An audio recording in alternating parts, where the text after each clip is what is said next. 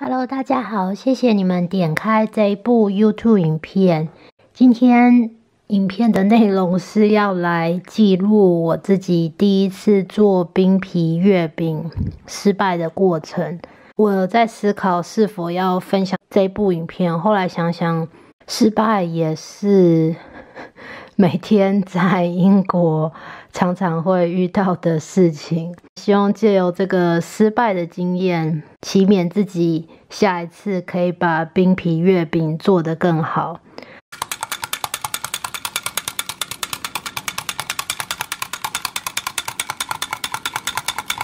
这是我第一次用 condensed milk 中文炼乳来做冰皮月饼。我从来没有在英国买炼乳，然后这是我第一次买。我打开的时候真的被那个炼乳的味道吓到，然后发现实在是非常。那因为有这个做冰淇淋的过程，让我重新的去思考自己对于糖。的摄取量以及 double cream 鲜奶油的摄取量。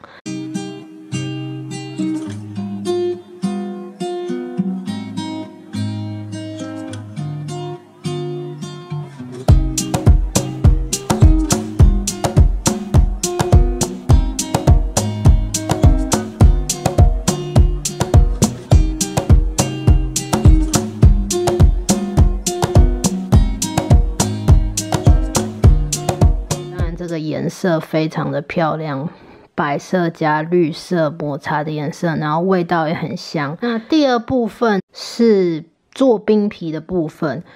那做冰皮的这些材料，例如说是糯米粉、粘米粉、成粉，这些材料在英国阿妈粽上面都买得到。那我说的材料也是都是在阿妈粽上面买。的，因为我家没有牛奶，所以我是使用无糖的豆浆。艾米丽的厨房里面谈到这个冰皮要用五十克的砂糖，但对我来讲，我觉得真的是这个馅料已经够甜了，所以我最后只加了二十克的砂糖，我加了三十克的油，五十克的糯米粉，四十克的粘米粉。Rice flour，那我油的部分加的是橄榄油，因为我家没目前没有蔬菜油，就是橄榄油，然后。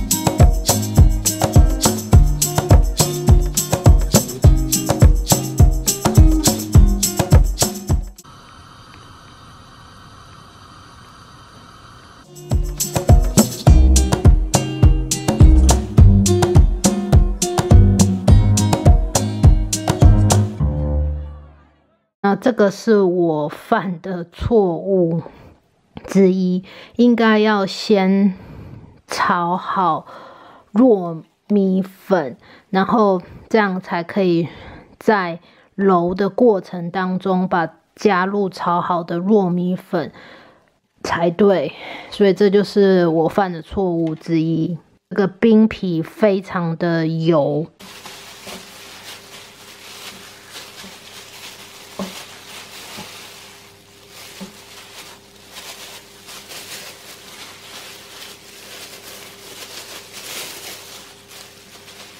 第二个错误我犯的就是我没有用擀面棍来擀这个十二个月饼的小球球，我就是用手把球变成扁平状。那发现这个面积太小，所以后来在包的时候，在包冰淇淋的时候延展性不够。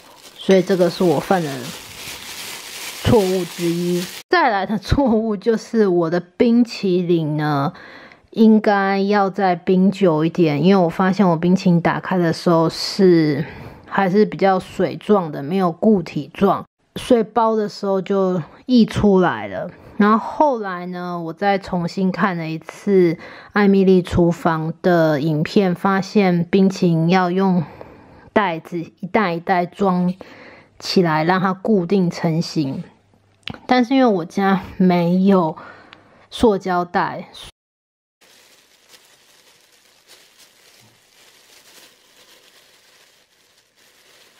因为我平常也很少用塑胶袋。所以我只好用我这个手套的袋子当做塑胶袋，一个一个装，装了十二袋。那我在装一体的冰淇淋装到袋子的过程当中，我觉得我自己很没有没有很环保，浪费，就是用了十二个塑胶袋，然后觉得有点违背我的生活理念，就是用塑胶袋。那这些袋子也没有办法再重新的使用，所以这个部分是我在做的过程当中思考到，我居然用了十二个塑胶袋来塑形这个冰淇淋，应该不是一件，就是有违背我生活当中的理念。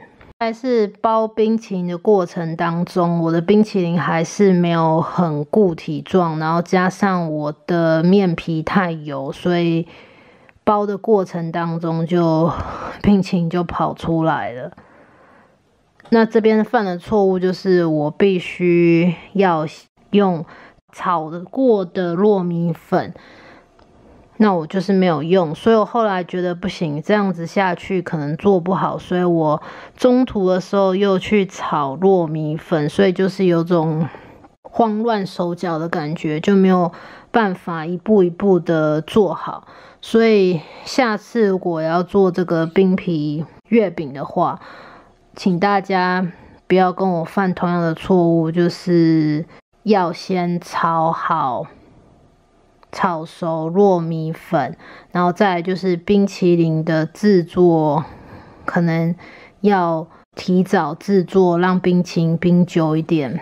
再可能是要思考说如何可以再度的使用塑胶袋，然后这样就不会违背，就不会使用过度的使用塑胶袋。那最后的成果，因为可能是有模子的关系，很感谢我妈妈。在很多年前，因为我要做陶瓷艺术品而寄给我这个创作的模具，然后做出来，后来最后做出来的抹茶冰皮月饼，还是看起来好像还蛮能模能样的，但是就是一个学习的过程。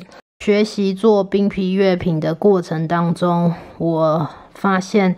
做月饼，做手工月饼是一件需要有足够的时间，可能需要一整天的时间来做这个冰皮月饼，因为必须等待冰淇淋的成型，然后冰皮就需要时间，大约要需要一天的时间来完成这个。看起来很简单的冰皮月饼，然后所有的材料也要先准备好。那这是我第一次做冰皮月饼，就这个影片就送给我自己今年中秋节的礼物。感谢有 YouTube 的平台可以和大家分享我失败的经验。那也希望大家有一个美好的中秋节。然后佳节愉快，然后希望大家不要犯和我一样的错误。那 see you next time. Stay well, stay safe.